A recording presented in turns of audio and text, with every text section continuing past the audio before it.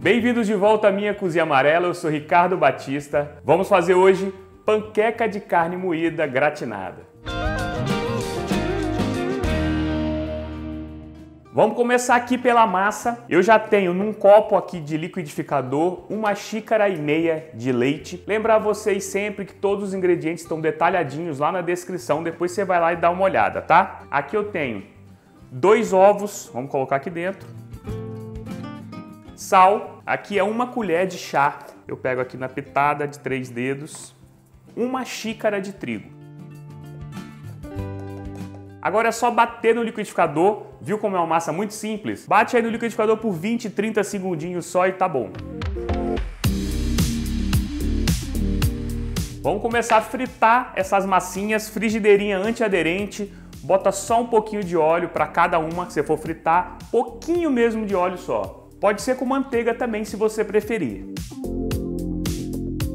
Fogo médio, tá, gente? Depois você vai regulando aí, abaixa, bota no fogo médio, deixa muito alto não. Coloca uma quantidade, a primeira é sempre um teste, você vai ver aí pelo tamanho da sua frigideira qual a quantidade. O ideal é que ela fique bem fininha. Você já coloca e já vai rodando ela assim, ó ela vai dourar embaixo, ela mesma já vai começar a se descolar do fundo, só virar, dar uma douradinha do outro lado, tá pronto.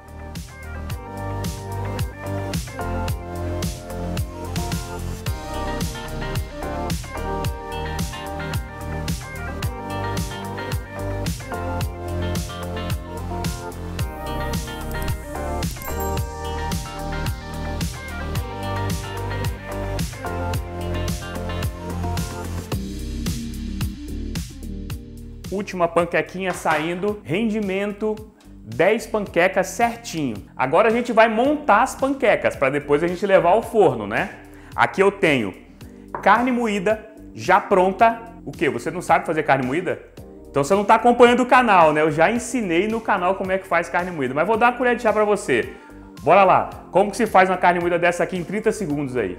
Pega uma frigideira, coloca um pouquinho de azeite ou de óleo, pica dois dentes de alho, já começa fritando esse alho, frita também meia cebola, depois que estiver bem douradinho, coloca meio quilo de carne moída da sua preferência e vai refogando. Já aproveita coloca também duas folhinhas de louro, se tiver louro em pó até melhor, um pouquinho de sal, um pouquinho de pimenta do reino e vai dourando essa carne até ela ficar bem douradinha. No final você pode colocar ainda o tempero verde a gosto que você tem aí. Pode ser salsinha, pode ser tomilho, pode ser alecrim, umas folhinhas de manjericão vai muito bem também. Aprendeu aí a fazer a carne moída, né? Bem rapidinho.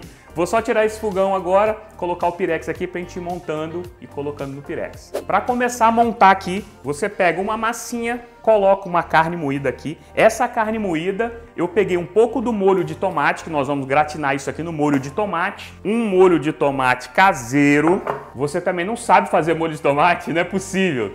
Tem que acompanhar o canal, tem receita já massa fresca com molho de tomate. Esse aqui é o molho de tomate mais rápido do mundo, o mais fácil para você fazer para suas receitas. Outra colher de chá. Vou fazer uma mini ediçãozinha do vídeo que já tem no canal. 30 segundos aí, molho de tomate para você aprender a fazer também. Você vai pegar 1,5 kg de tomate italiano bem maduro, tem que ser bem maduro, 3 dentinhos de alho, uma cenoura, meia cebola, duas folhas de louro, uma colher de chá de açúcar. Vai colocar isso dentro de um liquidificador, pode ir batendo aos poucos, colocando um pouquinho de água e vai jogando numa panela. Depois você vai ligar o fogo, começar a ferver isso aí, deixar reduzir até a metade, até ficar grosso da forma que você quiser. Coloca um pouquinho de sal, um pouquinho de pimenta do reino, um pouquinho de orégano, umas folhinhas de manjericão para temperar e seu molho vai estar tá pronto. Aprendeu aí também, né, a fazer o molho de tomate. Então aqui é o seguinte, eu peguei aquela carne moída que você aprendeu agora como é que faz também, com esse molho de tomate que você também aprendeu, coloquei só algumas colheradinhas na carne moída e dei uma mexidinha ali na frigideira e agora ela tá aqui, para ela ficar um pouquinho mais cremosa, tá? Simplesmente só isso. Vou colocar só uma sujeirinha de molho de tomate aqui no fundo para não queimar o fundo na hora que a gente for gratinar para a gente poder ir montando as nossas panquecas e colocando aqui.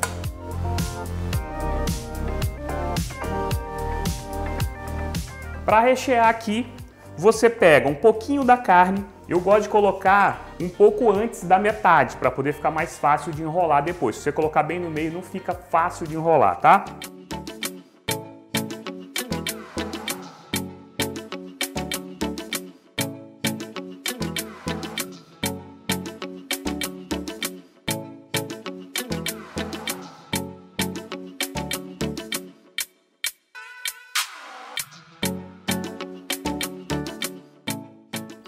Panquecas aqui montadas, vou botar em cima agora um pouquinho mais de molho de tomate.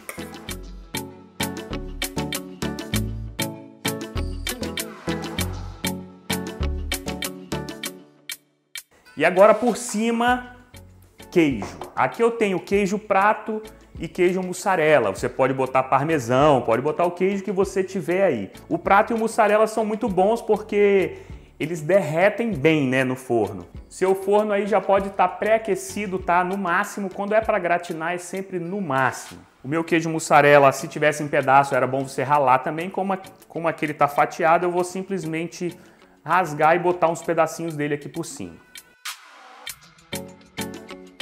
Forno, já já eu volto para vocês verem como é que ficou isso aqui gratinado, derretido, né?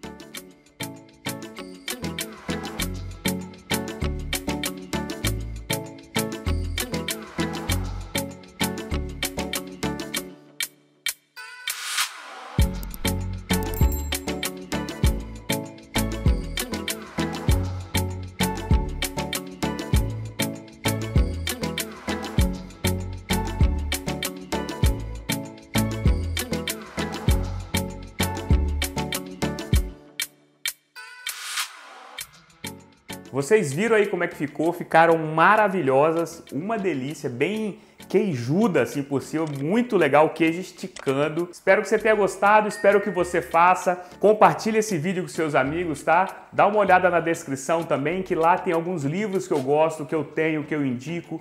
Tem o curso de bacalhau também do Cozinha Amarela, tá bom? Beijo para vocês e até a próxima receita.